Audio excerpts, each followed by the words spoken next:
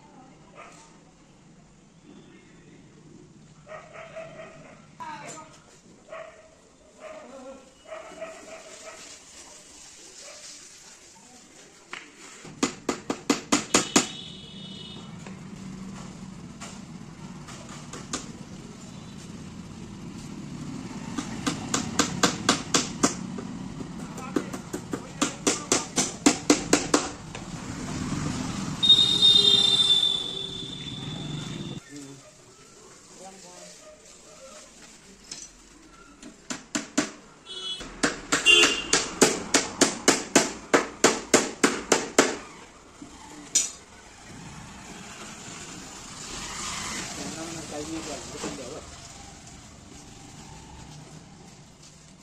Lệch lắm